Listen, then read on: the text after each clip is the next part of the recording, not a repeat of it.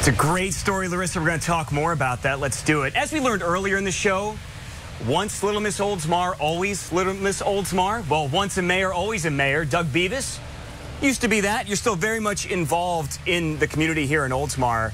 The development of the downtown, I know you guys are so excited. It just took a long time, but it, moving in the right direction finally, right? As Mayor Seidel said, it's been 20 years in the making, so uh, we're excited about it.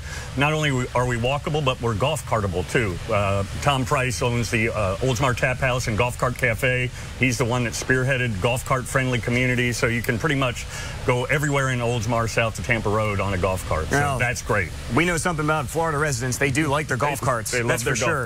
carts. In my hands here, I'm holding tickets to Oktoberfest. Oktoberfest. That is coming up October 22nd, 23rd, 24th. Tampa Bay Downs, which we haven't talked much about. That's in Oldsmar, too.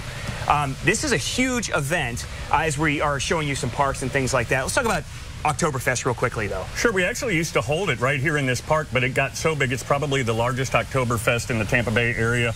Probably 20,000 people over the weekend. We do log sawing, stein holding, keg hurling, all kinds of great stuff. This isn't your parents' Oktoberfest. You guys really go all out for this. Yeah, Again, we do. that's happening at Tampa Bay Downs coming up October 22nd, 23rd, 24th. And uh, you can head over to OktoberFestTampaBay.com for more details on that. It's a great time. Uh, the development, as we mentioned, uh, you know, I'm thinking of downtown St. Pete. I'm thinking of Seminole Heights. I'm thinking of places that have really gotten in gear with making that walkability there for people to check out so many things. Yeah, I mean, you want to live, work, and play. And I mean, that's what this generation, your generation wants. They want to basically come home and not get out of the, not use their car again. Maybe they live and work at home um, and they can eat and have restaurants and, and things like that right there in their own community. So.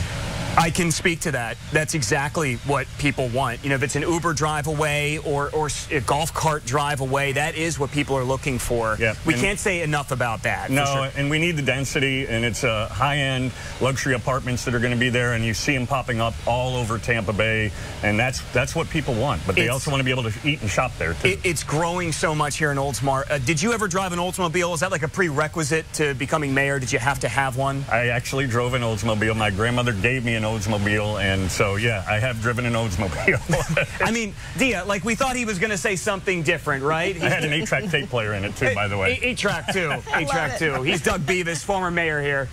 Pretty cool stuff, huh? Absolutely.